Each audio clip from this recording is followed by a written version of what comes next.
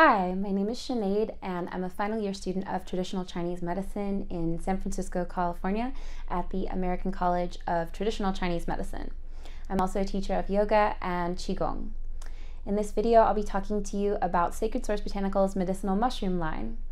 As an acupuncturist, it's really important for me to find high quality herbal products, and Sacred Source Botanicals products are third party analyzed, certified organic, and they have some of the highest levels of beta D glucan, which is the active component of many medicinal mushrooms.